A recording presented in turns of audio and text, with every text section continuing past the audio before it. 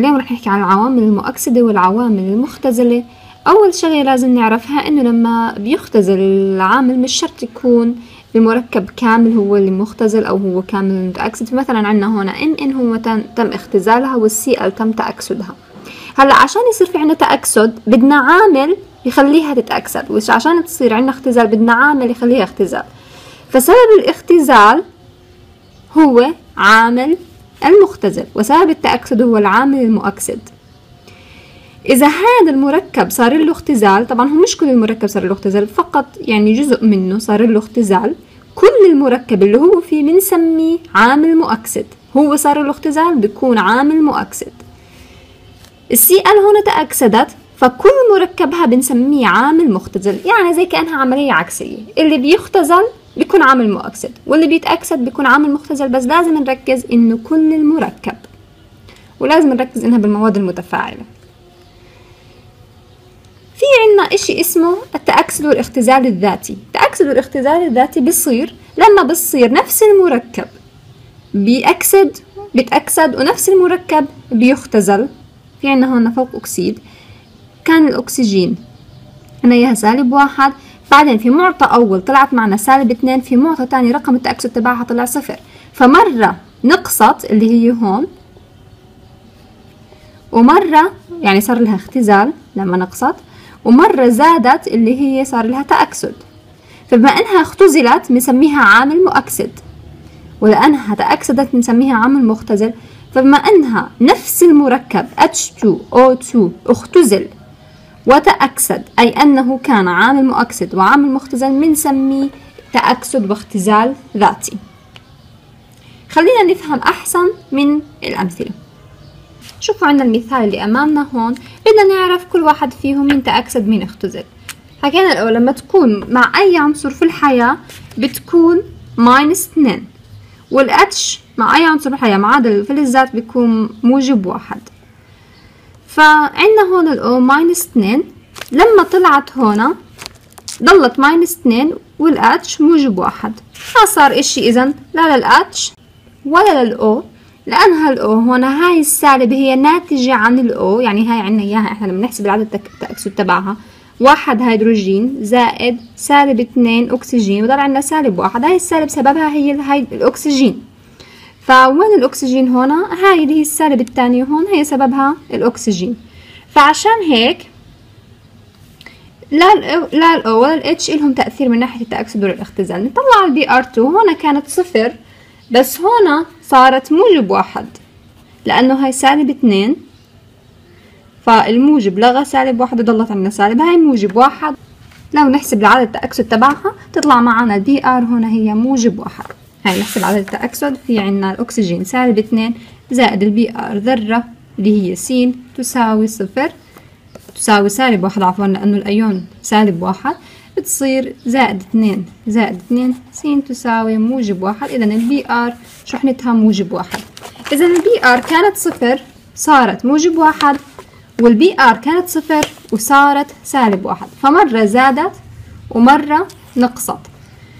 لما نقصت بنسميها اختزلت. ولما زادت بنسميها تأكسدت. واللي تأكسد بنسميها عامل مختزل واللي اختزل بنسميه عامل مؤكسد. فإذا هذا النوع من هذا التفاعل نوعه تأكسد واختزال ذاتي. خلينا نحدد مين اللي اختزل مين اللي تأكسد في المعادلة الثانية. خلينا نحسبهم عشان نعرف بالضبط. هلأ في عنا الأكسجين حكينا لما بترتبط مع أي شيء بتكون عنا إياها سالب اثنين وبما إنه عددها ثلاثة بنحكي ثلاثة ضرب سالب اثنين زائد س المجهولة زائد ال K اللي هي موجب واحد لأنها فلز تساوي صفر لأنها متعادلة. بس اذا ال Cl عنا إياها موجب خمسة. Cl 2 سالب اثنين وال K موجب واحد. هلأ لما نروح على الجهة الثانية Cl 2 هون كانت سالب اثنين وال K موجب واحد. ال Cl بتكون موجب واحد. ليش؟ لأنه عنا واحد زائد واحد تساوي اثنين. ناقص اثنين تساوي صفر. إذا بدكم احسبوها العملية الطويلة. وهاي بتصير صفر لأنها جزيء بحاله. okay نطلع هلا. مين فيهم زاد مين فيهم نقص. فإحنا زي ما إحنا منتبهين نبلش في ال K ال K ما تغيرت ما صار عليها ولا شيء. طلع ال Cl.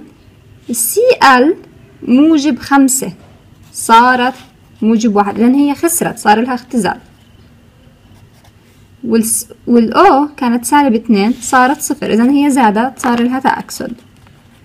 حدد العامل المؤكسد وحدد العامل المختزل اللي صار لها تأكسد. نحكي عنها عامل مختزل.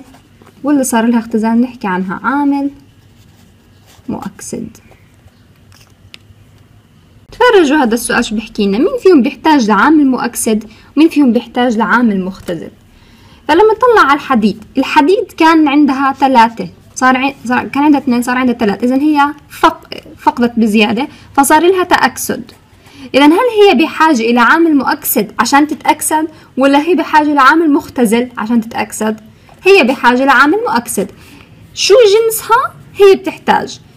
هي صار لها تأكسد هي تحتاج إلى عامل مؤكسد. ما بصير تأكسد من غير وجود عامل مؤكسد. لازم يكون عندنا عامل مؤكسد. نطلع عنها هون على ال IO 3 minus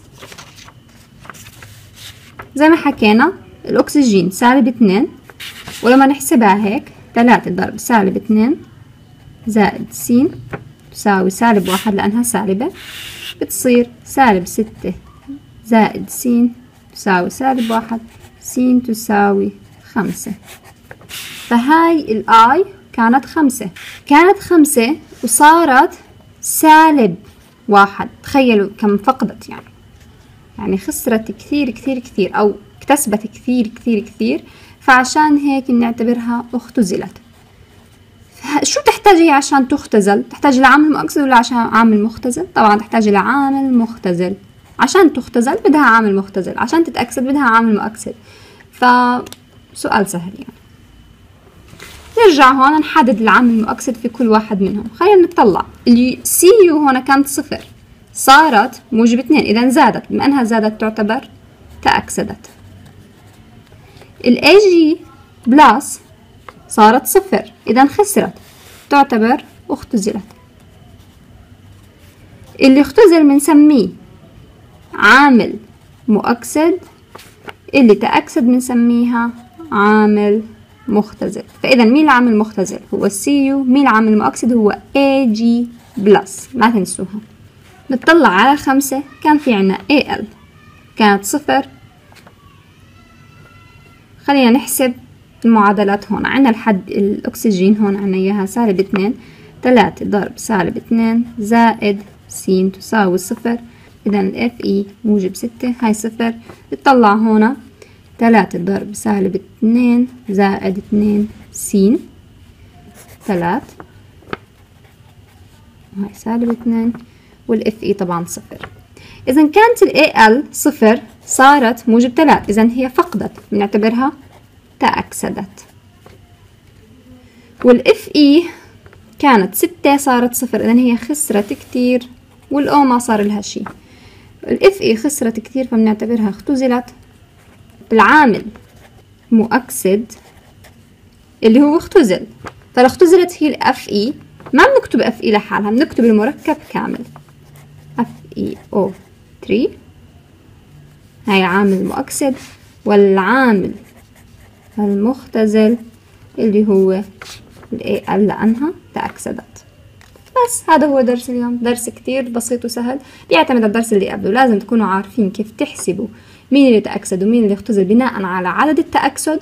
ولما تعرفوا اللي تأكسد بيكون هو العامل المختزل واللي اختزل بيكون هو العامل المؤكسد. وهذا هو درس اليوم.